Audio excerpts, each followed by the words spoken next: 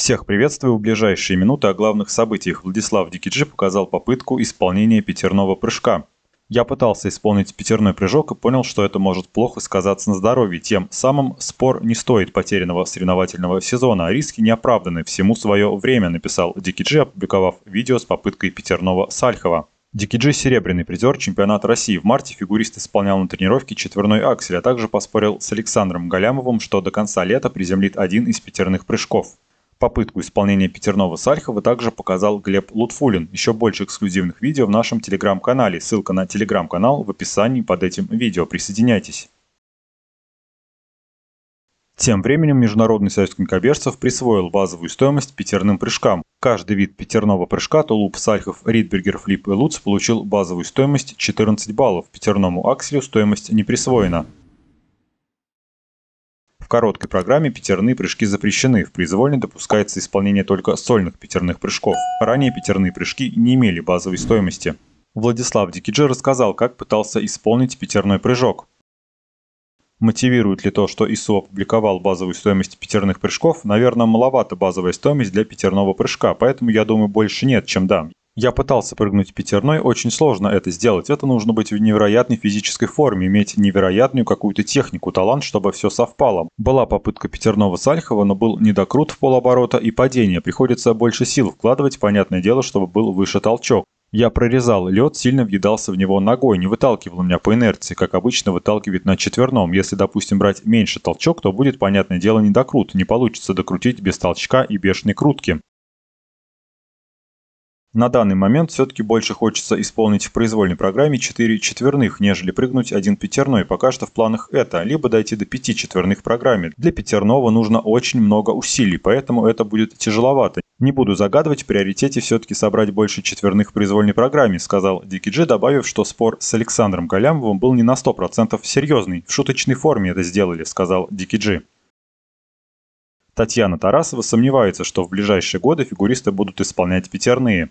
В ближайшие годы никто пятерные прыжки прыгать не будет, я так думаю, хотя бы четверные прыгнуть. Для этого нужны новые ботинки и коньки, это будет не скоро. Нужен человек, который очень хорошо прыгает, сказала Тарасова. Олимпийская чемпионка Наталья Бестемьянова высказалась о присвоении стоимости пятерным прыжкам. Любая оценка для такого элемента будет низкой. Пятерной прыжок – это абсолютно уникально, выше человеческих возможностей, сказала Бестемьянова. Алексей Ягудин высказался о присвоении базовой стоимости пятерным прыжкам. Это нормально, все развивается и фигурное катание в том числе. Раньше, лет 20 назад, 1-2 четверных прыжка прыгали от силы 3, а сейчас без 4-5 четверных в принципе можно даже не выходить на мировую арену. Но я лично верю, что будет прогресс и дальше. Никто не верил в четверной аксель, но он есть, и за Ильей Малининым потянулись другие фигуристы. Тот же Владислав Дикиджи, и другие попытки имеются. Дикиджи выехал, другие близки к этому. Ничто не стоит на месте, поэтому не вижу ничего сверхъестественного в том, что начали появляться уже в таблице определенные баллы и за пятерные прыжки. И таблицей этой начнут пользоваться, когда у кого-то будет пятерной прыжок. Пока что это только лишь бумаги, показатель того, в каком направлении развивается фигурное катание. Можно с Татьяной Анатольевной лишь согласиться, что пятерной прыжок – это дело будущего и не ближайшего. Хотя, кто знает, в четверной аксель мало кто верил, но я верил, он стал реальностью, сказал Ягудин. Российский танцевальный дуэт Екатерина Миронова и Евгений Устенко поработал с тренером Игорем Шпильбандом и хореографом Паскуале Камерленго. Камерленго поставил фигуристам ритм-танец. Спасибо, большая честь для меня работать в этой команде и на какое-то время присоединиться к этим замечательным людям, написала Екатерина Миронова. Тренер Игорь Шпильбанд назвал дуэт Миронова-Устенко очень перспективным.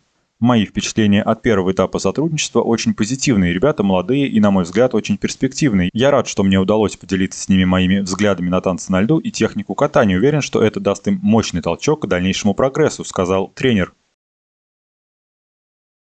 Луна Хендрикс рассказала о новой короткой программе. Это джаз, новый стиль, в котором я никогда раньше не каталась. Я люблю бросать себе вызов и пробовать разные стили, написала Хендрикс. Также чемпионка Европы по фигурному катанию анонсировала музыку для произвольной программы. Хендрикс будет выступать под кавер композиции Share Believe.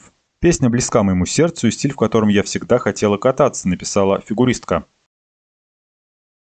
Серебряный призер Олимпиады 2022 Александра Трусова анонсировала мастер-классы в Мексике. Они пройдут с 30 августа по 1 сентября. Уже совсем скоро я снова приеду в Мексику, на этот раз я посещу два города и проведу для вас мастер-класс, написала Трусова. Татьяна Тарасова считает, что Александра Трусова быстро подготовится к контрольным прокатам. Ранее фигуристка подтвердила, что собирается выступить на контрольных прокатах сборной России в сентябре. У нас контрольные прокаты начинаются 14-15 сентября. Недели ей хватит для подготовки с учетом того, что она готовилась до этого, и в Мексике она тоже будет готовиться, сказала Тарасова. 22 июля спортивный арбитражный суд рассмотрел апелляцию Канады на распределение медалей Олимпийского командного турнира. Участие в заседании приняли и российские фигуристы. Напомню, Канадская федерация фигурного катания и Национальный олимпийский комитет Канады подали апелляцию на решение Международного союза конькобежцев присудить сборной России бронзовые медали командного турнира на Олимпиаде 2022 в Пекине. Ранее Международный союз конькобежцев переместил российскую команду с первого места на третье после аннулирования результатов Камилы Валиевой. Сборная Канады осталась на четвертом месте. По мнению канадцев, бронза должна перейти к ним. Чемпион мира и Европы в парном катании Александр Галямов рассказал, как прошли очередные слушания в спортивном арбитражном суде с участием российских фигуристов. Прошли очередные слушания, многочасовые и волнительные. В этот раз все члены команды были более уверенными в себе и более спокойны. На этот раз от команды выступал Марк Кондратюк. В его красноречии и взвешенности высказываний сомневаться не пришлось. Нам всем остается ждать и идти на тренировку, сборы, шоу. Спасибо за поддержку. Мы все знаем, что лед не врет, написал Александр Галямов. Камила Валиева показала свою тренировку в зале. Вспоминаю потихоньку, подписала она видео. 22 июля Камила Валиева впервые за полгода вышла на лед. Спортсменка выступила в спектакле «Руслан и Людмила», который проходит в Сочи. Партнером Валиева является серебряный призер Олимпиады 2018 года в командных соревнованиях Александр Энберт. Фигуристка исполнила в прокате аксель в полтора оборота и двойной тулуп. Камила Валиева обратилась к зрителям после возвращения на лед. Я безумно рада вернуться на лед. Спасибо вам за такую поддержку, что вы здесь, поддерживаете, любите, даете нам энергию. Конечно же, хочу сказать огромное спасибо коллективу, потому что это самые добрые, лучшие люди, с которыми я могла вернуться на лед. Я всех очень люблю, очень скучала и надеюсь, дальше будет только лучше, сказала Валиева. Татьяна Тарасова заявила, что соскучилась по выступлениям Камилы Валиевой.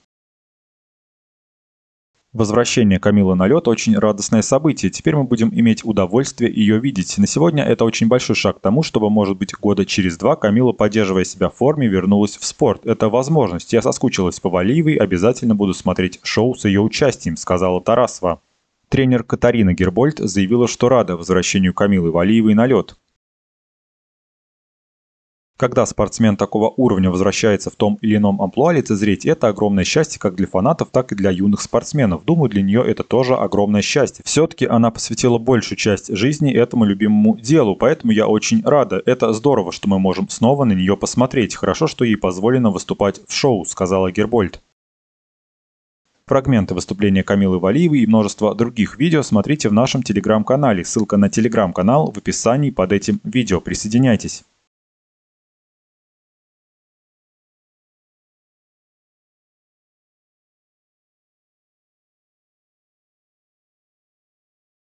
Спасибо за просмотр, до новых встреч!